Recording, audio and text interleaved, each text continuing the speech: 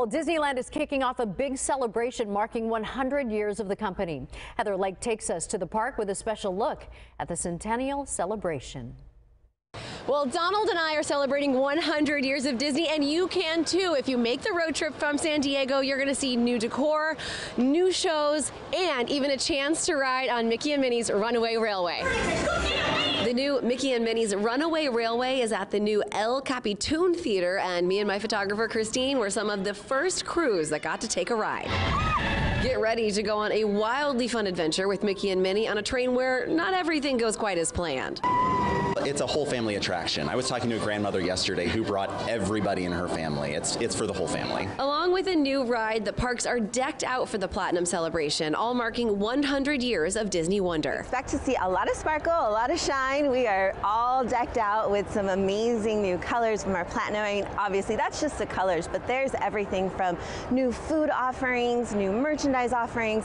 Uh, we have two new nighttime spectaculars, Wondrous Journey and uh, World of Color One, and they're both at each of our different parks. So uh, we're really excited to just have everything for every age here celebrating Disney's 100. And for the characters who have been getting dressed in a similar wardrobe since 1923, they're debuting new party looks for the magical year. And Goofy looks just dapper all dressed up. Fun fact, Mickey Mouse is just 94 years old and you can find original drawings, artworks, all these ideas right here on Main Street. Walt Disney and his brother Roy were coming up with all kinds kinds of ideas in cartoons years before Mickey became the mouse we know and love today. So before Mickey was Oswald the Lucky Rabbit, and uh, Walt spent a lot of time on him and unfortunately lost him and created Mickey on a train to California.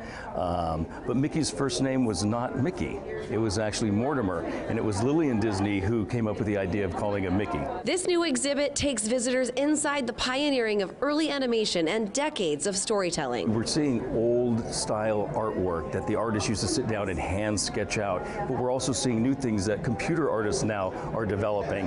But we're seeing the progression of how it's actually happened and where we got to where we are today, 100 years, and maybe where we'll be in the next 100. If you love all of this just as much as Donald and I have, well, you can grab commemorative ears. There's all kinds of new merchandise celebrating 100 years. This party goes on for 18 months, and of course, there's something for all those Disney foodies out there. Something you're going to want to look forward to is Toontown reopening on March 8th.